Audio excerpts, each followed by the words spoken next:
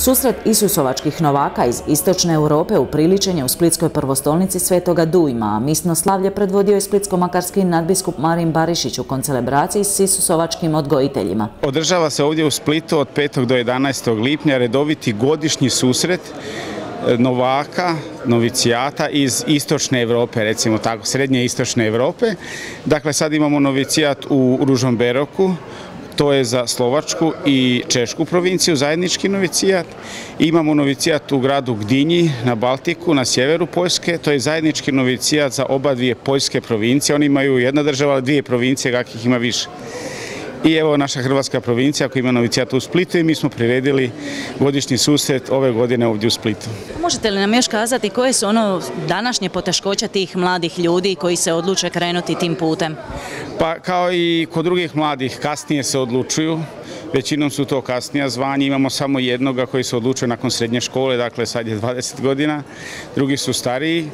E, zatim to su mnogi problemi iz obitelji koji se donose, dakle neki su iz rastavljenih obitelji, nesloge razno raznih nevjerničkih obitelji, dakle donose te mnoge probleme današnjeg suvremenog društva i novicijat, s čime sebi evo i sa duhovne strane onda moramo se očiti boriti da bi oni e, izašli, oformili se za redovnike i svećenike danas sutra. Novicijat je razdoblje Isusovačke formacije koji je posvećen molitvenome životu i različitim iskustvima kojima je cilj doći do jasnoće zvanja. Boži poziv osjetio sam e, ministrirajući u vlastoj župi e, tokom evo, cijelog svog djetinstva i služeći župniku osjetio sam evo, da me Bog poziva na služenje.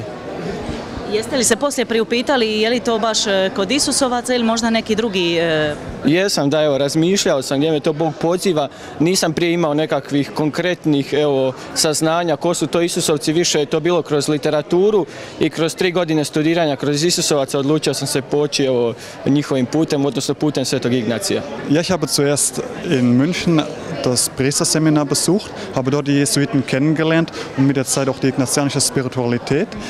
Ich habe mich dann sehr interessiert für die Jesuiten, für den heiligen Ignatius und habe mit der Zeit gespürt, dass es meine Berufung ist. Habe dann die kroatische Provinz kennengelernt durch äh, die Dienerin vom Kinder Jesu, Sestra Slušavka Malog Isusa.